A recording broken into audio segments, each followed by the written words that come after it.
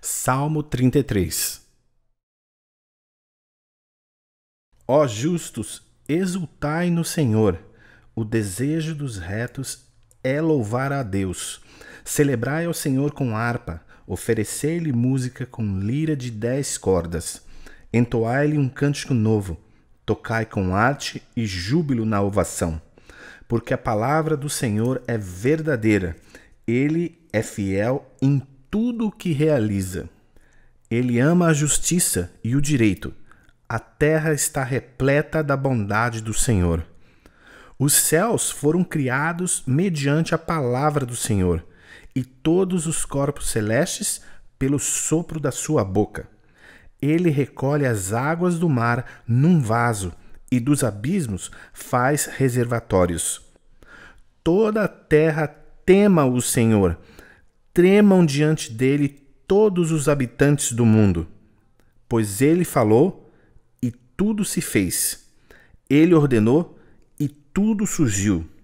O Senhor desfaz os planos das nações e frustra os intentos dos povos. Mas os planos do Senhor permanecem para sempre, os projetos do seu coração por todas as gerações. Feliz a nação cujo Deus é o Senhor, o povo que ele escolheu para lhe pertencer. O Senhor olha dos céus e observa toda a humanidade. Do seu trono, ele contempla todos os habitantes da terra. Ele que forma o coração de todos, que conhece tudo o que fazem. Não há um monarca que se salve com a força dos seus exércitos.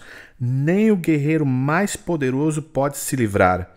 O cavalo é ilusão de livramento, e todo o seu vigor não ajuda a escapar.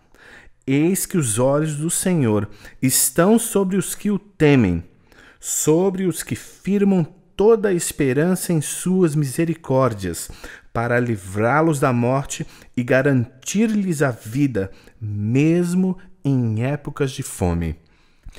Todo o nosso ser espera no Senhor. Ele é o nosso amparo e a nossa proteção. No Senhor se alegrará nosso coração, já que em seu santo nome colocamos toda a nossa fé. Derrama sobre nós a tua bondade, ó Senhor, em proporção às esperanças que só em ti depositamos.